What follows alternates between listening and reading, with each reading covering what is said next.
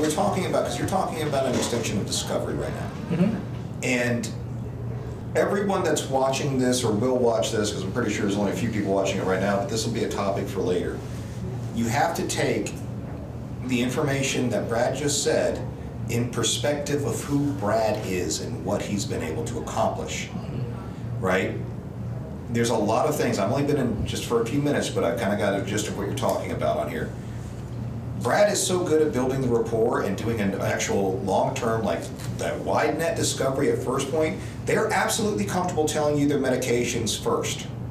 That is a very rare occurrence. That's something even I can't do because it's just not the way that I. I don't come off as like folksy as you do, right?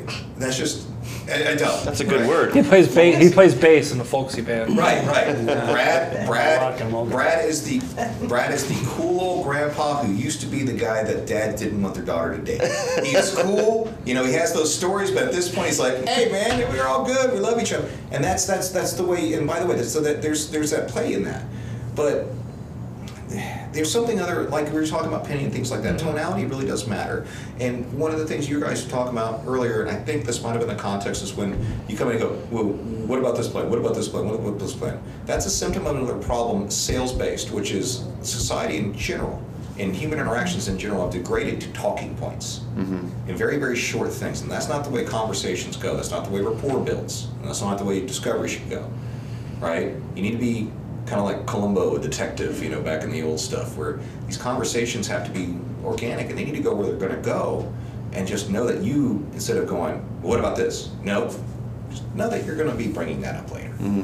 But that goes into the tonality of it, and one of the things that I hear constantly when I listen to these calls is that there's no variance of tone.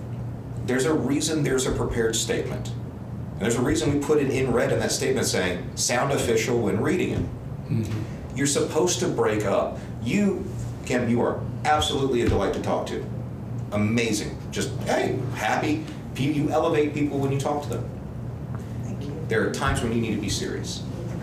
This is a serious thing that I'm talking about. I don't necessarily want to do it, but I got to do it. And that means you got to do it. And then they'll pay attention to exactly what you're saying, who it is. And health questions are another great thing about that. Hmm. I can early on go, hey, you got no, you don't take insulin or you're not diabetic, have heart conditions. Good, good. Okay, what are your medications? Great. Get all that. Then I can go on the selector questions. But then, when it comes to those health questions, serious face.